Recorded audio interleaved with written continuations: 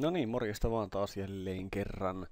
Seuraavaksi videotutorial siitä, että kuinka SkyDrivella pystyy helposti jakamaan tiedostoja tai tiedostokansioita eteenpäin. Ja näytän tässä myös samalla, että miten vaikka ryhmälle pystyy jakamaan sieltä tiedoston eteenpäin, siis tämmöisen opiskelijaryhmälle.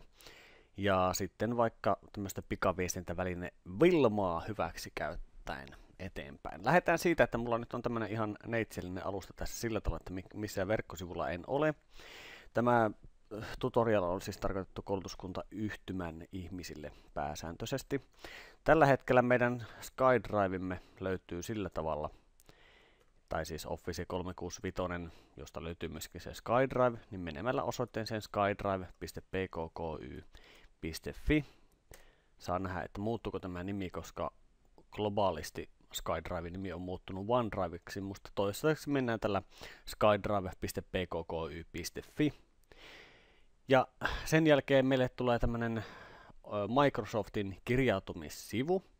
Jos käytössä on oppilaitoksen tietokone, joka on yhteydessä oppilaitoksen verkkoon, niin riittää ihan se, kun syötät tänne oman sähköpostiosoitteesi kirjautumis nimeksi, koska tuossa on sitten tuo pkky.fi sähköpostiosoitteen pääte.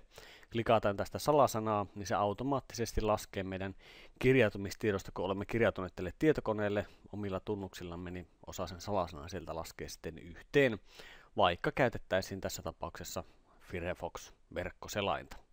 Tähän aukeaa tämä minun henkilökohtainen SkyDrive, ja tuota, nyt pitää ihan miettiä, että minkähän kansion minä haluaisin jakaa tästä eteenpäin.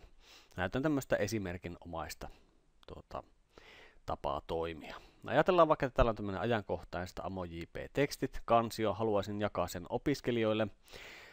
Tällä hetkellä oikeastaan nämä kaikki Microsoftin jutut toimii sillä tavalla, että yleensä tämmöistä kohdasta, missä on kolme pistettä, niin löytyy sitten tämmöisiä lisätietoja. Jos vie hiiren tämän päälle, niin siinä lukee, että avaa valikko. Ja tähän aukeaa sitten tämmöinen jako sivu tai tämmöinen lisätieto, miten sanottako, ikkuna. Ja täällä alareunassa on tämmöinen kohta kuin jaa. Siitä klikkaamalla aukeaa sitten jako-ominaisuuksia. Ja koska kyseessä on kansion jakaminen, niin tähän voi kirjoittaa kirjoita nimet, sähköpostiosoitteet tai kaikki. Ja jos me halutaan jakaa vaikka jollekin opiskelijaryhmälle, itse olen Amo JPn henkilökuntaa, haluaisin jakaa jonkun tuota, jollekin opiskelijaryhmälle, niin kirjoitan oppilaitoksen lyhennetyn nimen tuohon alkuun, jonka jälkeen sitten rupeaa löytymään tämmöisiä näitä tuota, meidän erilaisia ryhmiä. Jos etsitään enemmän, tässä aukeaa vain 30 parasta tällä hetkellä, niin mitä enemmän tänne kirjoitetaan, AmoJP ja sitten viiva, ja sitten vaikka ryhmätunnus 13 jotain, Nämä ryhmätunnukset näkyy myöskin sitten Vilmasta, että sieltäkin ne voi sitten halutessaan katsoa. Mutta sen jälkeen, kun löytyy se oma ryhmä, mille halutaan jakaa tämä kyseinen kansio ja siellä olevat tiedostot, niin klikataan sitten tästä aktiiviseksi tämä ja sen jälkeen klikataan vaan, että jaa. Totta kai tästä menee tieto sitten opiskelijoille heidän sähköpostiinsa, eli oppilaitoksen sähköpostiin, joka opiskelijalla löytyy osoitteesta edu.pkky.fi. Ja on huomioitava tästä semmoinen asia, että jos halutaan, että opiskelijat eivät voi muokata näitä tiedostoja, niin tästä kannattaa valitella, valita sitten tämmöinen kohta kun, että voi tarkastella, jonka jälkeen he voivat pelkästään avata ne tiedostot, mutta eivät pysty muokkaamaan näitä tiedostoja. Tämä tällaisesti pikaisesti katsottuna esimerkiksi kansion jakaminen erityiselle ryhmälle ja samalla tavalla yksittäisen tiedoston jakaminen myöskin ryhmälle onnistuu. Otetaan sitten yksittäinen tiedosto, että miten yksittäisen tiedoston voi jakaa eteenpäin. Otetaan vaikka tuosta tuommoinen tiedosto. En muista, että mitä se pitää sisältää, sisällään, mutta klikataan tästä kolmesta pisteestä ja koska kyseessä on ihan tämmöinen Word-dokumentti, niin tähän aukeaa tämmöinen esikatseluikkuna, josta pystyy katsomaan, että mitä sen Word-dokumentin sisällä on. Ja täällä jälleen kerran pitää sitten klikata tätä jaa-painiketta. Ja koska kyseessä on yksittäinen tiedosto, niin voimme hakea myöskin erikseen tämmöisen linkin, joka löytyy tästä vasemmalta puolelta tällä hetkellä. Jos tämä joskus muuttuu, niin sitten se saattaa olla vähän erinäköinen, mutta tästä löytyy tämmöinen kohta kuin hae-linkki. Ja tässä on tämmöinen, että kaikki, joilla on tämä linkki, voivat nähdä tämän tiedoston. Voimme luoda semmoisen linkin, ja se avautuu tähän näin ikäisesti. Kun klikataan hiirellä tuosta, se maalaa koko sen linkin, ja ihan kopioimalla voimme kopioida sen kyseisen linkin, klikata tässä kohtaa, että sulje, ja avataan sitten uusi välilehti, ja mennäänkin sitten Vilmaan, josta, josta se jaetaan se kyseinen tiedosto eteenpäin vaikka opiskelijaryhmälle. vilma.pkky.fi on tässä oppilaitoksessa käytössä ja mulla on tallennettuna salasanat ja tunnarit tuohon niin kirjaudun sisälle. Olen siis omalla tietokoneellani tässä kohtaa työskentelemässä. Tässä näkyy myös tässä jaksossa olevat ryhmät, ketä mulla on esimerkiksi verkko-opintoja kun ohjailen, niin nämä näkyy mulla tässä kohtaa. Ja klikataan tuosta vaikka auki tämmönen. Avautuu ihan tämmönen perinteinen näkymä ihmisistä ja täältä sitten löytyy tämmönen kohta kuin viesti kaikille opiskelijoille. Ja Vilmaa on pikkusen muokattu, tai siis tänne on tullut tämmöisiä muokkaustoimintoja, mitä aikaisemmin ei Vilmassa vielä esimerkiksi viime vuoden puolella ollut. Ja normaalin tapaan tuotetaan tiukkaa settiä olevat otsikko, teksti, mitä halutaan tuottaa, ja sen jälkeen liitetään tuo SkyDriveissa luotu linkki tähän klikkaamalla, että liite. No okei, se näkyy, näyttää vähän hassulta. Vielä tässä kohtaa se ei ole valmis linkki, vaan se pitää vielä maalata. Ja sitten täältä löytyy tämmöinen kuvake kuin lisää linkki. Klikkaan siitä. Ja tähän urlikohtaan copypastaan uudestaan, eli liitän tuon kyseisen linkin uudestaan tuohon kohtaan ja klikkaan, että lisää, jolloin kun klikataan tästä, niin se näkyy sitten semmoisena, että se on ihan selkeä linkki. Tässä kohtaa kannattaa myöskin muistaa valita tämmöinen täppäkon, että lähetän myös sähköpostina, jolloin kun opiskelijalle menee se Vilma-viesti, hänelle tulee siitä tieto sen jälkeen myöskin siihen oppilaitoksen sähköpostiin. Ja halutessaan, kun tämä on klikattu, lähetä myös sähköpostina, niin tuo sisältö näkyy jo siinä sähköpostiviestistä, eikä opiskelija välttämättä tarvitse mennä erikseen Vilmoa katsomaan, että, että minkälainen, minkälaatuinen sisältö siellä sitten mahdollisesti on. En lähetä tätä nyt eteenpäin, koska tämä on vain tämmöinen esimerkki. Aika nopeasti on käynyt tätä läpi, joten jos ei ihan heti auennut, niin kannattaa vaikka katsoa tämä video uudestaan ja sitä kautta sitten kokeilla vaikka työkaverin kanssa, että miten se jakaminen onnistuu. No näytän vielä sen, että miten jakaminen SkyDrivessa yksityiselle, yksittäiselle henkilölle onnistuu. Edelleenkin tämä tiedosto, vaikka tässä klikataan tästä kolme pistettä, avainvalikko, ja täältä löytyy tämä jaa. Ja sen jälkeen kutsutaan henkilöitä käyttämään tätä kyseistä tiedostoa. Kirjoita nimet, sähköpostiosoitteet tai kaikki. Jaan tämän tässä kohtaa muutamalle ihmiselle.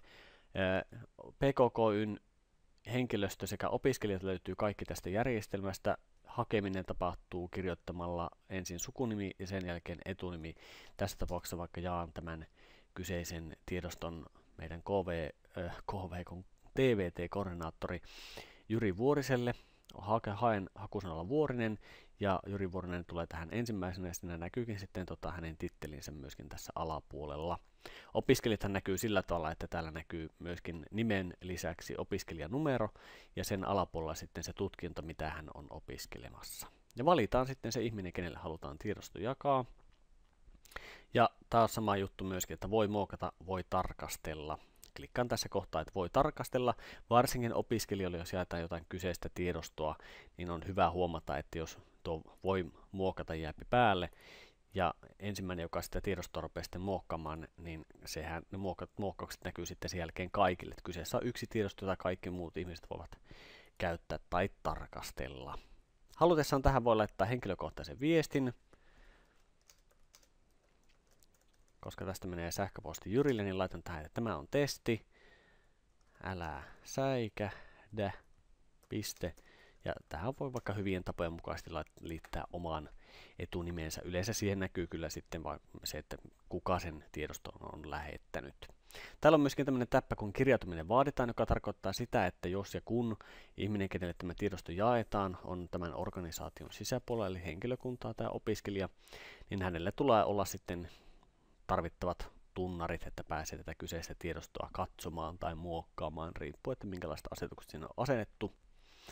Jos jaetaan organisaation ulkopuolelle esimerkiksi sähköpostilla, niin silloin ehdottoman tärkeää on muistaa ottaa tämä täppä pois, koska välttämättä sinun mummollasi ei ole tunnaria PKKyn verkkoon. Ja sähköpostin liittäminen tapahtuu ihan sillä tavalla, että kirjoitetaan kokonaisuudessaan tänne sähköpostiosoite. Tässä nyt tulee paljon semmoista asiaa, mitä välttämättä teidän ei tarvitse koskaan tietää, mutta hyvä on tämmöisetkin mahdollisuudet osata ehkä. Täältä löytyy vielä tämmöinen, että lähetä sähköpostikutsu. Jos et halua, että ihminen saa sähköpostilla tiedon siitä, niin täältä sen voi täpätä pois, mutta koska tässä kohtaa ollaan yksi sähköpostikin jakamassa, niin ei nyt sitä klikata sitten ollenkaan. Näköjään täällä on myöskin tämmöinen virhe havaittiin palveluita tavoitettaessa. Toivottavasti se nyt ei sekoita hirveästi tätä pakkaa, koska tuo ei ole ihan normaalia toimintaa tässä kohtaa.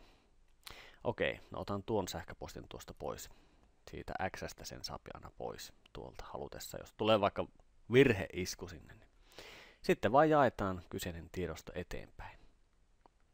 Vähän aikaa se miettii ja tässä nyt menee sitten, sanottaisiko vaikka, että anteeksi, rykäisit viidestä minuutista vaikka puolentoista tuntia ennen kuin ihmiselle tulee sähköposti siitä, että tämä kyseinen tiedosto on jaettu. Tämä suhteellisen mielenkiintoinen aika johtuu osittain PKKyn roskapostipalvelimista, eli se siellä jossain pyörii jonkun aikaa tuo tiedosto ennen kuin se tieto päätyy sitten sähköposteihin. Mistä sitten noita jaettuja tiedostoja näkee, jos sinulle on joku jakanut tiedoston, niin täällä vasemmassa reunassa löytyy tämmöisiä välilehtiä. Omat asiakirjat on se, mistä löytyy tuota, nämä omat tiedostot, ja täällä on sitten tämmöinen kohta kuin jaettu kanssani ja siitä klikkaamalla aukeaa sitten se sivu, minne päätyvät nämä jaetut, sinun kanssasi jaetut tiedostot. Siinä järjestyksessä tällä hetkellä, että missä järjestyksessä ne on tullut, totta kai täältä saa sitten säädettyä muitakin vaihtoehtoja. Tässä kohtaa vanhin ensimmäisenä, tässä kohtaa viimeisin tiedosto ensimmäisenä. Tässäpä nyt oli jo aika paljon kaikkea. Jos tulee kysymyksiä, niin kysyäkin saa. Minä olen siis Tuomas Partanen ja toivotan teille mukavaa päivän jatkoa ja onnistumisen, ilosta, il, onnistumisen iloa SkyDriven ja Vilman kanssa.